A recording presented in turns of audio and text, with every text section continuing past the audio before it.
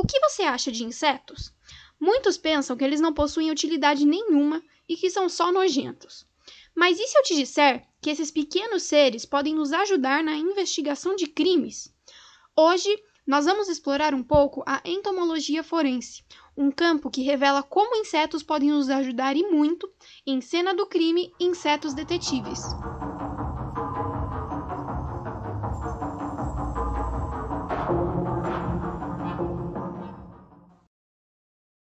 Em uma investigação de cenas de crime, diversos fatores são analisados para chegar-se a uma conclusão.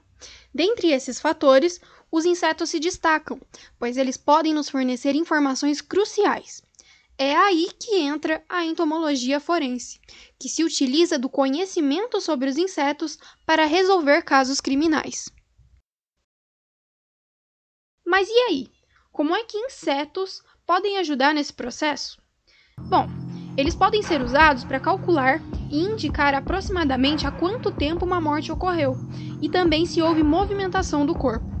Além disso, eles podem auxiliar na determinação da causa da morte, como por exemplo por consumo de substâncias tóxicas.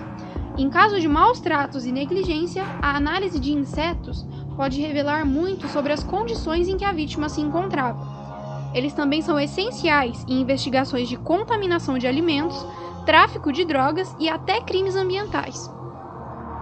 O primeiro registro do uso da entomologia forense no mundo é da China, no século VIII, em que um lavrador foi encontrado degolado.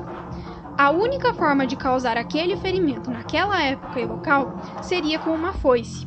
Então, para resolver o caso, o chefe da região ordenou que todos os lavradores apresentassem suas foices a ele. Em apenas uma delas, várias moscas pousaram, atraídas muito provavelmente pelos restos de sangue que ainda estavam nela, mesmo que fossem invisíveis aos nossos olhos.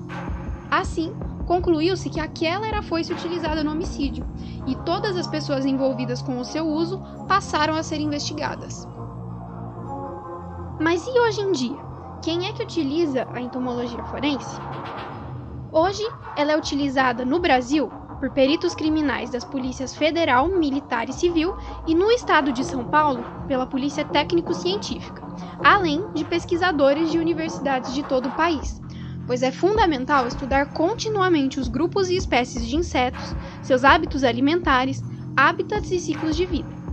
Esses conhecimentos são essenciais para que nós possamos entender o que de fato um inseto está fazendo em uma cena de crime chegando a conclusões corretas sobre o que realmente ocorreu.